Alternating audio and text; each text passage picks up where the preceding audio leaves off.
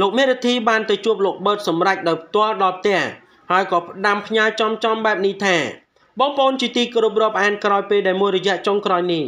លោកបឺតសម្រេចខ្លាយទៅជាកូនរបស់លោកតាស៊ិនស៊ីសមុទ្រ កំពុងតែបង្កឲ្យមានការផ្ទះប៉ោនិងចាប់អារម្មណ៍យ៉ាងខ្លាំងរហូតដល់មានការលើកឡើងផ្សេងផ្សេងគ្នាដោយខ្លះជឿខ្លះទៀតមិនជឿនៅក្នុងនោះផងដែរអ្នកដែលជឿក៏បានគ្រប់គ្រងចំពោះលោកបឺតសម្រេចអ្នកដែលមិនជឿបានលើកឡើងថាគឺជាការបង្ខូចកិត្តិយសកេរ្តិ៍ឈ្មោះរបស់លោកតាស៊ិនស៊ីសមុទ្រដែលធ្វើឲ្យប៉ះពាល់ដល់កិត្តិយសរបស់លោកតាយ៉ាងខ្លាំង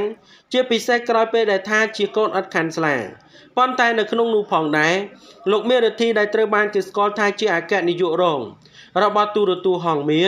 រូបលោកបានទៅជួបលោកបិទសម្រេចដោយផ្ទាល់មានទាំងការណែនាំផ្ដាំផ្ញើជាច្រើនចំពោះលោកបិទសម្រេចឲ្យមានការខិតខំប្រឹងប្រែងតស៊ូបន្ថែមទៀតជាពិសេសការដកខាត់សម្លេង និងក៏ដូចជាការព្យាយាមតាំងចិត្តទទួលយកអ្វីដែលជាការពិតដូច្នោះកុំឲ្យប្រិយមិត្តរបស់យើងរងចាំយូរសូមមេត្តាជួយ Subscribe និង Like ដើម្បីទទួលបាននូវព័ត៌មានថ្មីៗបន្ថែមទៀត ពុកម៉ែបងប្អូនជាទីគោរពរាប់អានរឿងរ៉ាវដ៏គួរឲ្យចាប់អារម្មណ៍នៅមួយរយៈចុងក្រោយនេះនៅក្នុងថ្ងៃទី7ខែ7ឆ្នាំ2023លោកបិទសម្រេចបានទទួលផ្ទះមួយល្វែងពីបរិយ Lucky Home នៅក្នុងនោះផងដែរបានបង្កឲ្យមានការចាប់អារម្មណ៍យ៉ាងខ្លាំង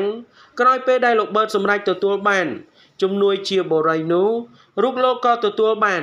ការកាន់សោចូលទៅនៅក្នុងផ្ទះ និងមិនត្រឹមតែប៉ុណ្ណោះបានរបស់របរនៅក្នុងផ្ទះទាំងអស់ដោយអ្នកទិញបរិយផ្ទាល់និងមានទាំងបំពាក់ម៉ាស៊ីនត្រជាក់រួចរាល់ថែមទៀតផងនៅក្នុងនោះផងដែរលោកបឺតសម្រាប់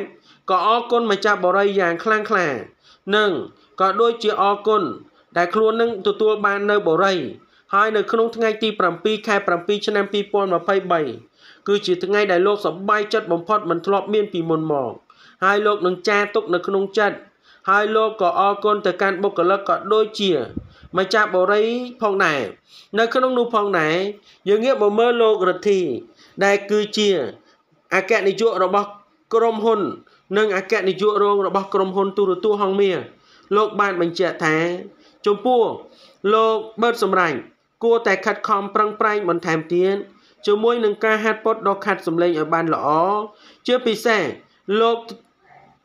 កុំខ្វល់ជាមួយនឹងអ្នកថាឲ្យលោកទាំងអ្នកគ្រប់គ្រងទាំងអ្នកមិនគ្រប់គ្រងអ្វីដែលសំខាន់គឺត្រូវប្រឹងខ្លួនឯងឲ្យខ្លាំងទៅតាមអ្វីដែលអាចធ្វើបាន ហើយមិនត្រឹមតែប៉ុណ្ណោះ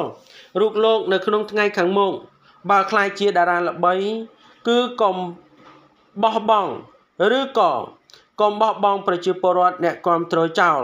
ពីព្រោះថាអ្នកគ្រប់គ្រងនេះហើយគឺជាកោសិកា ធ្វើឲ្យយើងនឹងទទួលបាននូវភាពជោគជ័យនៅក្នុងនោះផងដែរលោកមេរទ្ធី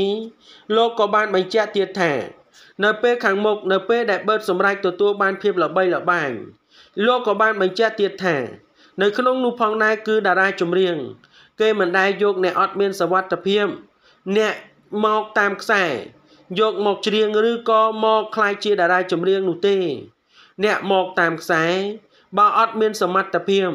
ធ្វើឲ្យខូចកម្មវិធីរបស់គេ គេនឹងមិនយកដដែលនោះអញ្ចឹងយើងយកមកធ្វើអីអ្នកតាមខ្សែបើគ្មានសមត្ថភាពយើងមិនត្រូវយកមកទេ ការបញ្ជាក់របស់លោកមេរធីនីធ្វើឡើង ក្រោយពេលដែលលោកបានទៅជួបលោកបឺតសម្រេចនៅពេលដែលលោកបឺតសម្រេច បានកាន់សោចូលផ្ទះនិងទទួលបាន នៅផ្ទះមួយល្វែងពីម្ចាស់បរិយដ៏ល្បីម្នាក់នៅក្នុងនោះផងដែរបានបង្កឲ្យមានការភ្ញាក់ផ្អើលនិងចាប់អារម្មណ៍ពេញបណ្ដាញទំនាក់ទំនងសង្គមហើយក៏មានការកោតសរសើរនិងអរគុណទៅចាទៅកាន់ម្ចាស់បរិយផងដែរដែលគាត់បានអាណិតចំពោះបឺតសម្រាប់ដូច្នោះព័ត៌មាននេះមានប៉ុណ្ណឹងដើម្បីទទួលបាននូវព័ត៌មានថ្មីៗបន្ថែមទៀតសូម Subscribe និង Like